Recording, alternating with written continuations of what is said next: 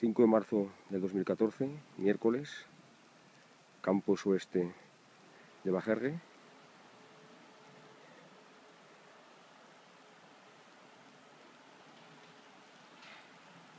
Espesor de 115 centímetros.